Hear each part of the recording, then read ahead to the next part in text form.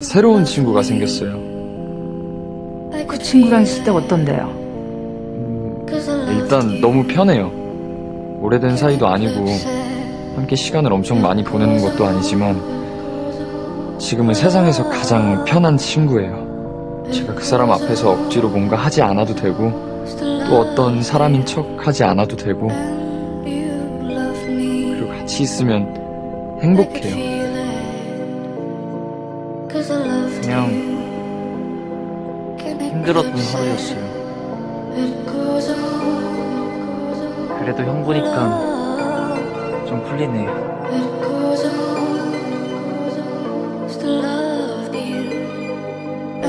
저는 반대로 생각했어요.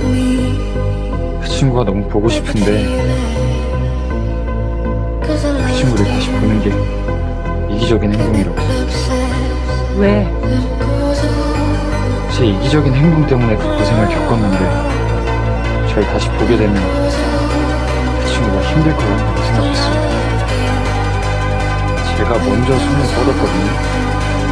옆에 있었거든요. 다시 또 손을 뻗었다가 지금 상수주고 혼란스럽게 만들고 그런 걱정이 들어요.